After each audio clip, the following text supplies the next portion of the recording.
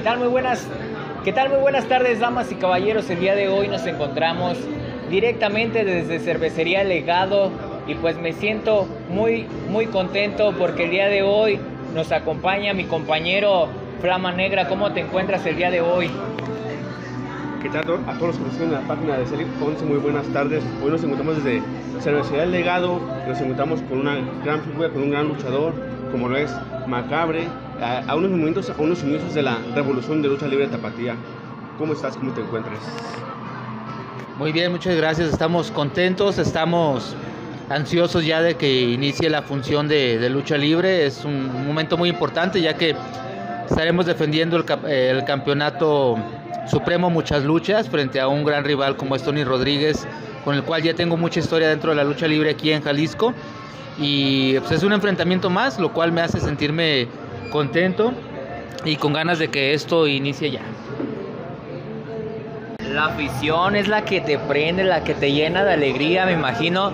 Y sobre todo, una, yo te quiero hacer una pregunta. ¿Macabre siempre ha sido así tal cual como ahorita estás? ¿O estuviste enmascarado?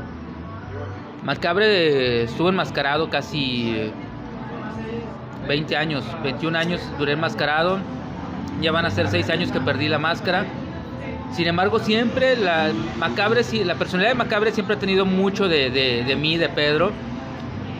Sin máscara, somos una, una unión, siempre hemos sido una unión, entonces siempre ha tenido esa personalidad. Aunque tuviera la máscara, siempre veo una personalidad muy grande de, de, Pedro. Incluso antes de ser macabre, yo tenía otro nombre y era un luchador como todos, ¿no? Las mallas, la máscara, todo. ¿Y cómo se llamaba ese personaje? Yo luchaba antes como Auris. Cuando yo inicié en la Arena Coliseo de Guadalajara, mi personaje primero fue Auris y era un luchador, ahora sí que como cualquier otro, ¿no? Y, llegó el momento que dejé de luchar un tiempo, me retiré, empecé a estudiar de nuevo y cuando regresé a la lucha yo quise regresar, pero ya con un personaje que se adaptara a mi personalidad. A mí siempre me ha gustado todo lo que tenga que ver con el terror, con el horror, con la música, con el heavy metal, con, con el gore, todo, todo lo que fuera algo diferente.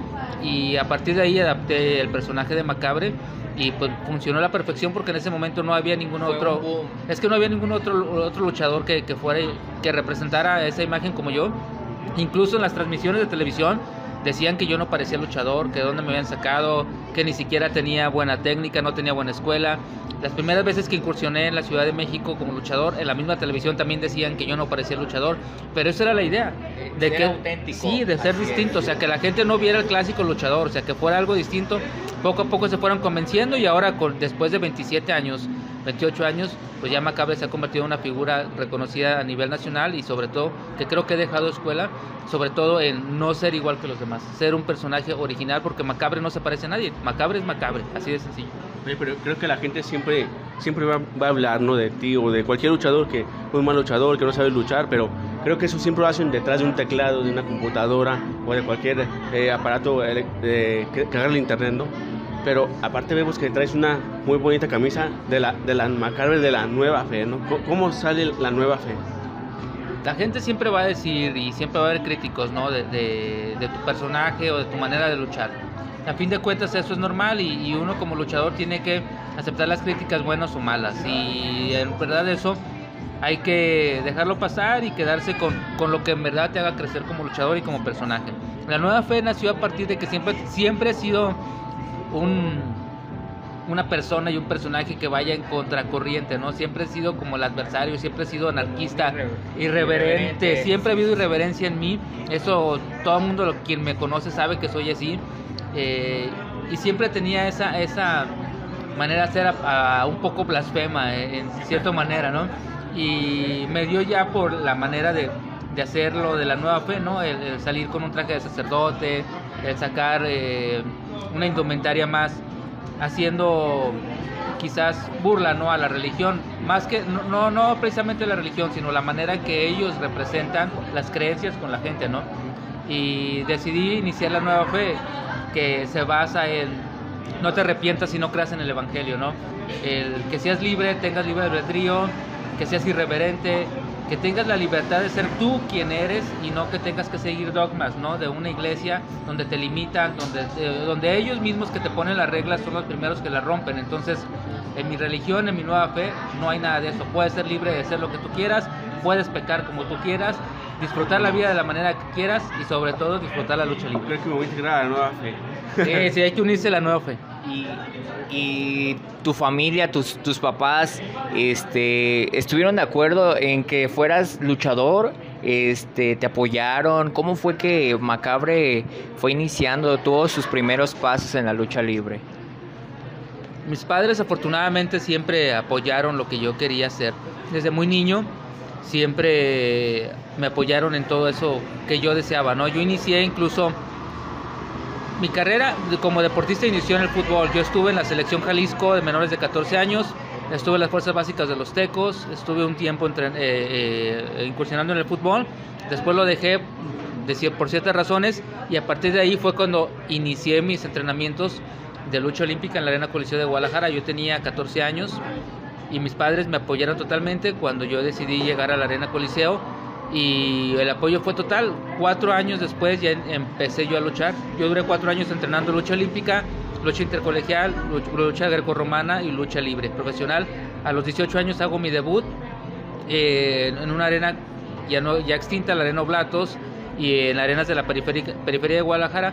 Meses después es cuando ya, ya llego totalmente a la Arena Coliseo de Guadalajara, pero todos mis inicios fueron ahí mismo, en la Arena Coliseo, con el apoyo de mis padres. Desde muy pequeño siempre y hasta ahorita el apoyo de mis padres es incondicional a todo lo que hago, a todo lo que a lo que decido, ahora con, con cosas por ejemplo de mi personaje como la nueva fe y todo y ellos mismos me dan ideas para todo eso.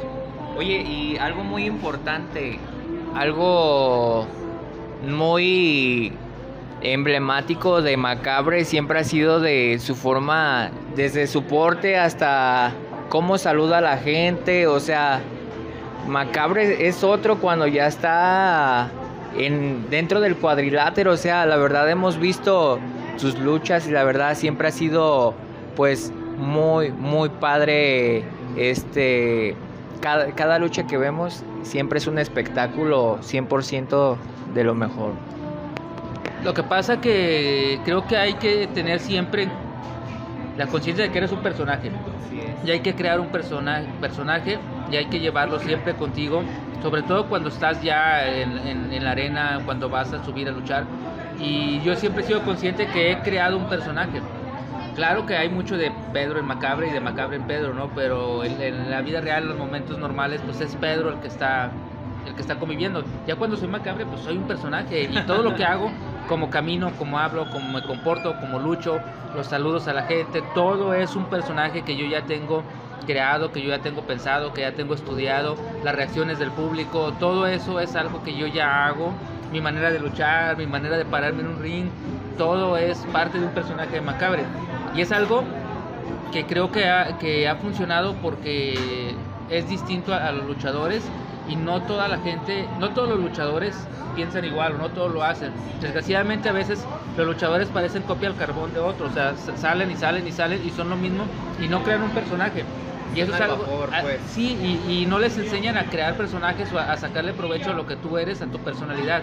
Y eso es algo que, que se ha perdido y creo que sí es algo en lo que a mí me gustaría en un futuro ayudar a los muchachos a crear su personaje, a sacar provecho de su personalidad y que seas tú, que la gente te reconozca y diga, él es tal y no se parece a. Eso es algo que a mí me ha ayudado y ya tiene muchos años que la gente dice, él es macabre, no se parece a. Solamente que cuando no me conocen o nunca me han visto y, y podrá haber parecido físico con otros luchadores, ¿no? Y eso es normal. Pero cuando ya me conocen y ya ven mi estilo de lucha, pues dicen, él es macabre y no se parece a ningún otro luchador. Oye, agregándole un poquito al personaje de macabre, algo que es muy bonito, pero a la vez eh, algo raro eh, puede ser la, la, afición con los niños, ¿no? Eh, ¿Cómo se a tomarse la foto a ver un personaje como macabre, ¿no? Fíjate que eso es, es algo muy curioso porque Macabre no está, persona, no está pensado para ser un personaje para niños. Macabre es un personaje, como le hemos dicho, irreverente, este, insolente, burlón y blasfemo y todo. Y aún así se acercan mucho los niños a pedirme un autógrafo, una foto, o que les dé mi bendición y cosas así.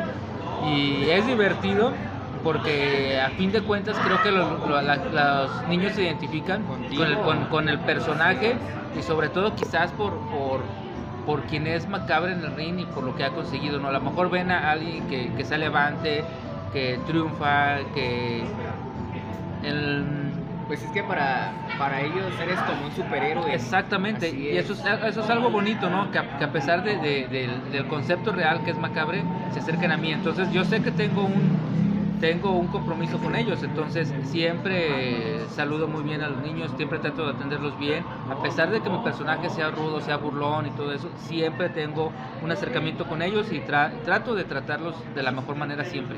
Oye, y ahorita que estamos totalmente en vivo desde la plataforma de lucha libre Conce, me gustaría que invitaras a toda esa afición a que asistiera el día de hoy al gran evento porque como lucha súper especial, miren, lucha por el campeonato, muchas luchas, aquí está Macabre y con toda la actitud, ¿cómo, ¿cómo los invitarías a toda esta afición? Que vayan a disfrutar de una gran lucha hoy en la Arena Roberto Paz. A partir de las 8 de la noche va a ser un, una, una función muy especial. Hay muchos tipos de lucha, va a haber distintos eh, estilos luchísticos, va a haber muy buenos luchadores. La lucha estrella es el campeonato supremo, muchas luchas contra Tony Rodríguez. La verdad es que Revolución de Lucha Libre Tapatía está haciendo un esfuerzo muy grande por traer un concepto muy distinto porque son luchadores locales, pero luchadores de muy buen nivel y sobre todo que que son luchas especiales y de distinta manera, de distintos tipos, los cuales nos van a dar eh, encuentros muy, muy memorables. Ojalá y puedan asistir, que vayan, que se diviertan. No se van a arrepentir y sobre todo van a ver cosas muy interesantes y una disputa de, disputa de campeonatos que no usualmente se están haciendo por muchas razones.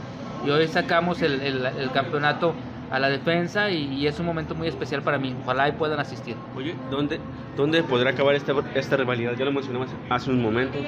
La cabellera, los campeonatos, nuevamente lucha por el campeonato supremo. ¿Dónde podría acabar esta, esta rivalidad? ¿Podrá ser, no sé, en, en alguna lucha hasta por las carreras?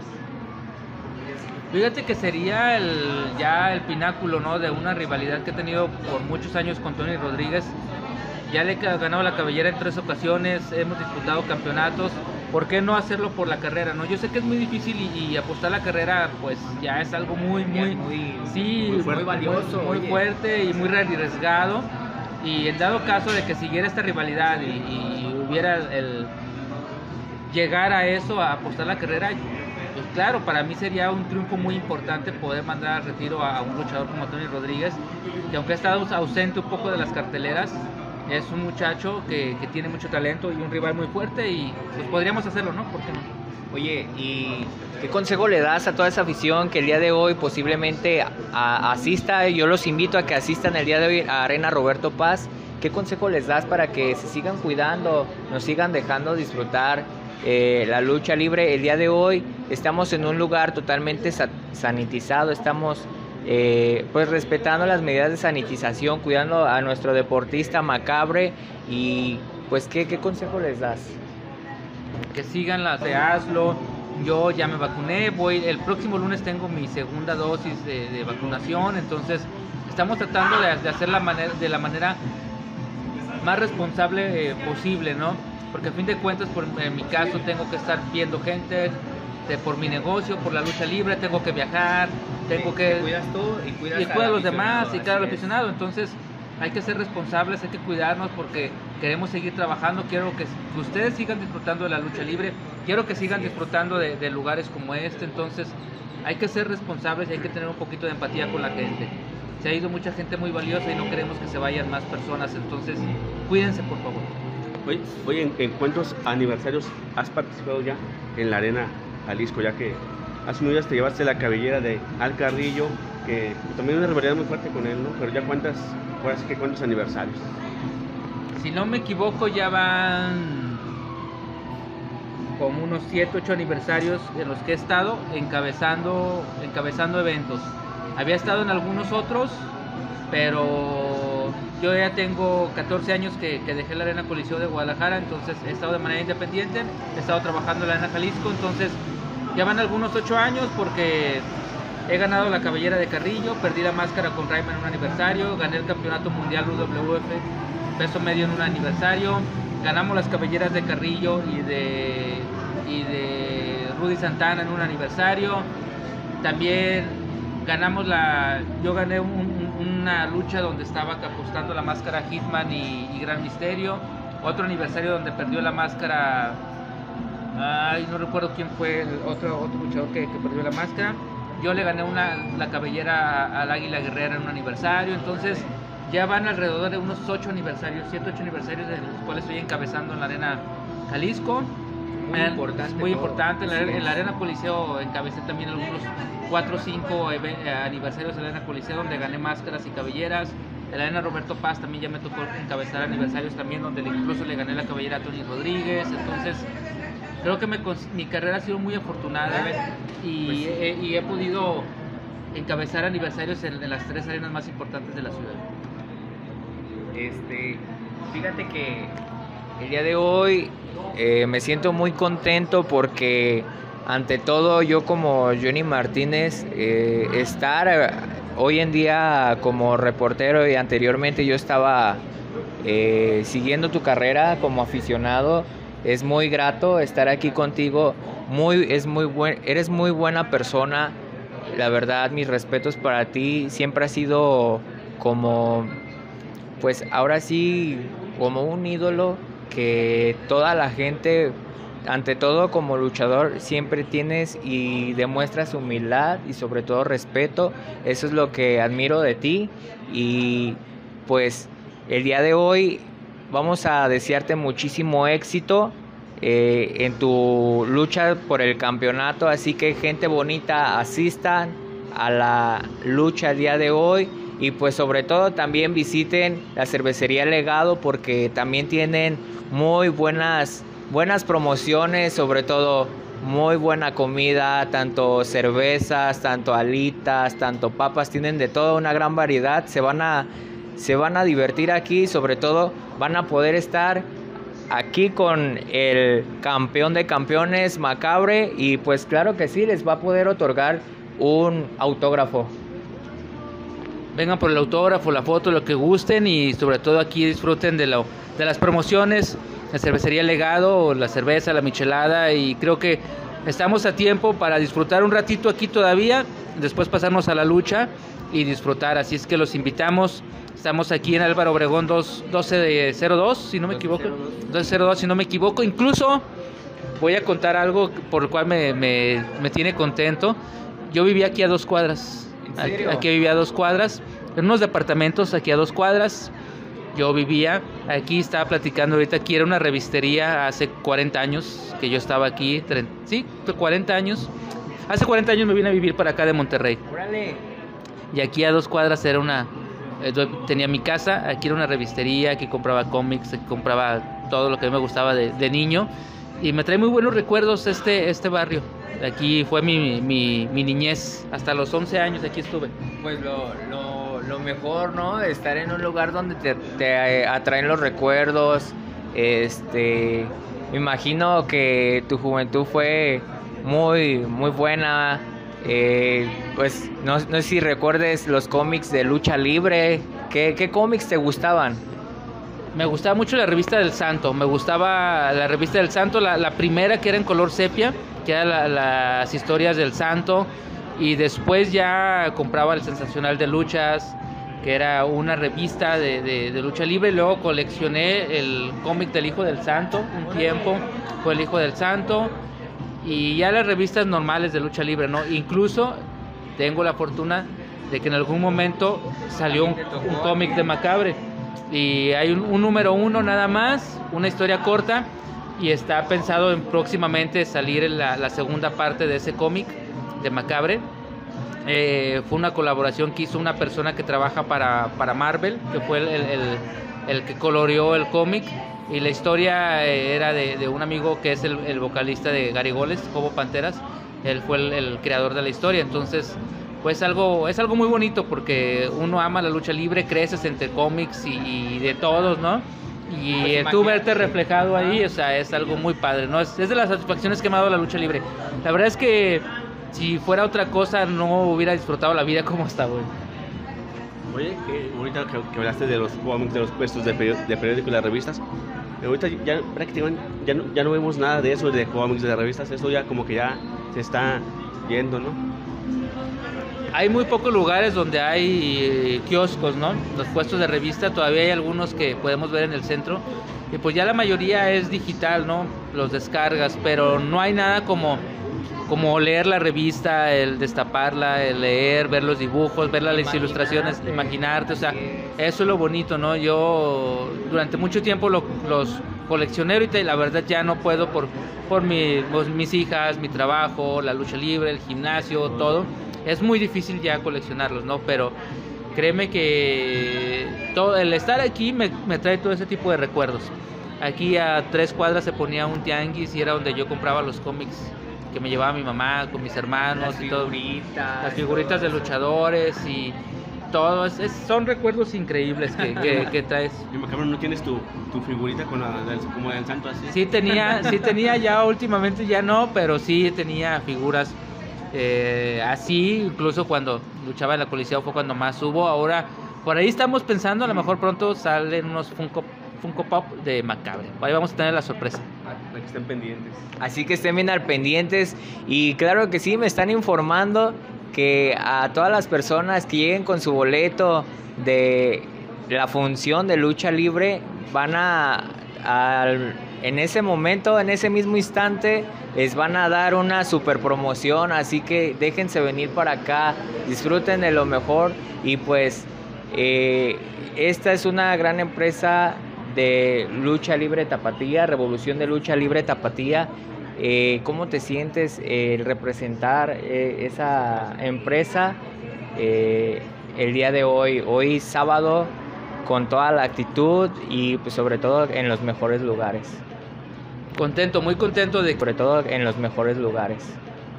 Contento, muy contento de que la empresa me siga dando la oportunidad de encabezar programas, de poder luchar, de poder convivir con la gente es muy importante. El tener trabajo, el que las empresas sigan dando trabajo es algo muy importante.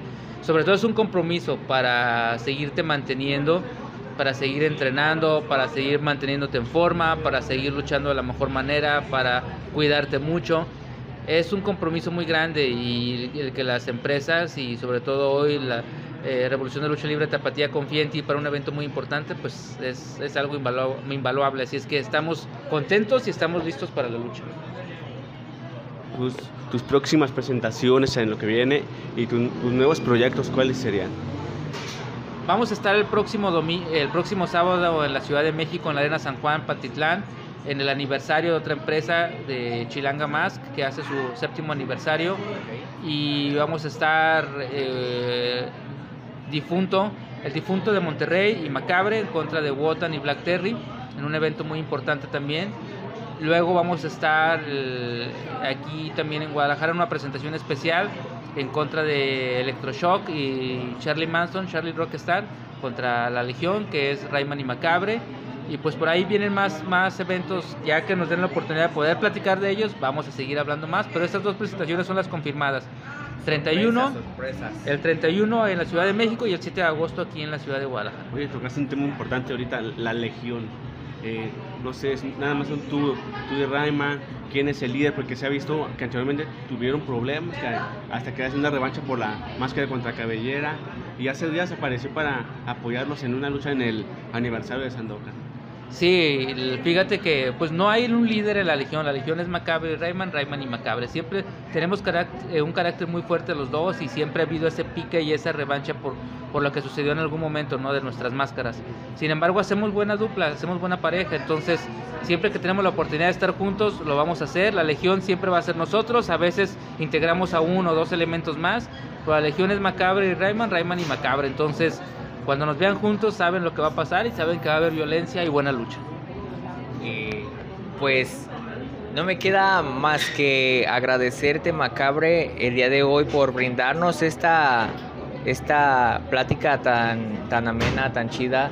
Eh, gracias por el tiempo que nos brindas y pues quiero agradecer tanto a mi amigo Enrique Alberto, alias el Flama Negra, este, y a todo, a todo el staff de la cervecería Legado. Gracias por brindarnos el espacio y sobre todo pues que nos trataron, nos tratan muy bien, nos trataron súper chévere.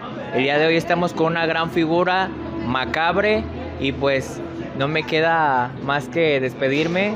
Eh, yo soy Johnny Martínez, estoy a sus órdenes. Chequen la página de Lucha Libre CL Conce.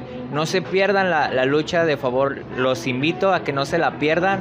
La lucha de Macabre hoy, 8 de la noche, en Arena Roberto Paz. Revolución de Lucha Libre Tapatía. Así que, pues, eh, Alberto Enrique, Flama Negra, pues nada más que agradecer a Macabre por la entrevista y pues que ese, ese campeonato se quede en, en la cintura de Macabre. Que así sea y recuerden, no se arrepientan y no crean en el Evangelio. Nos vemos al rato en la arena Roberto Paz, 8 de la noche, Revolución de Lucha Libre Tapatía. Tony Rodríguez contra Macabre, Campeonato Supremo, muchas luchas.